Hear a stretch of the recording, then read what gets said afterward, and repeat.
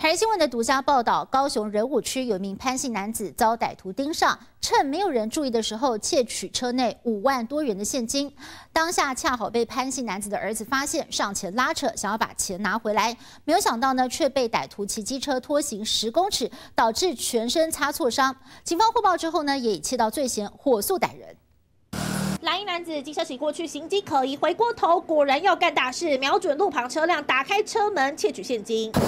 偷窃行径马上被发现，当场被拉住。没想到蓝衣男子为了逃，骑机车加速逃逸，狠心放任被害人在地上沿路拖行。